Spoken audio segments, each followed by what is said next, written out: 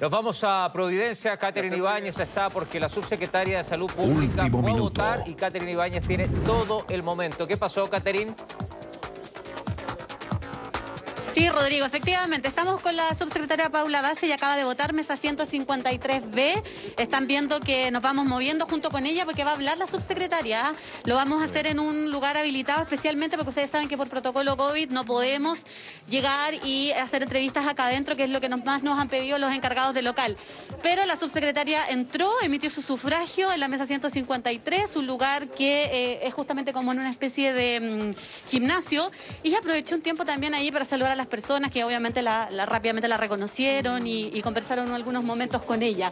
Llegó aquí eh, tempranito, a eso de las nueve y media, para cumplir con su deber y obviamente le queremos hacer muchas preguntas respecto a varios procesos que están durante esta jornada em, con dudas aquí.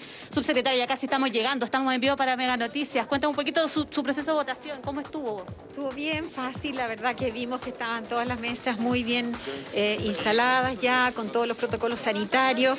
Eh, bueno, saludé a los vocales, la verdad que han hecho un trabajo increíble, admirable. Agradecerles a ellos porque tener dos jornadas de esta magnitud es, es muy reconocible. Así que hasta el minuto vamos bien, esperamos que siga de esta manera, que la gente venga a votar. Es el llamado que la gente venga a votar. El proceso es seguro, eh, se están tomando todos los protocolos sanitarios y, queremos que sea una celebración posible. Desde el punto de vista sanitario, subsecretaria, ¿cómo encontró que se ha ido desempeñando el proceso? Sí, la vamos acompañando aquí, yo la estoy Perfecto. ¿Cómo se ha desarrollado desde el proceso sanitario? Aquí se va a instalar, ¿ah? gracias, subsecretaria, ahí que, nos contestó algunas preguntas. Mira, se va a instalar acá para que podamos... Eh, obviamente también escuchar algunas cosas que tienen que ver más con aspectos sanitarios meramente tal. Estamos en vivo para la radio ¿Cómo fue este proceso de votación?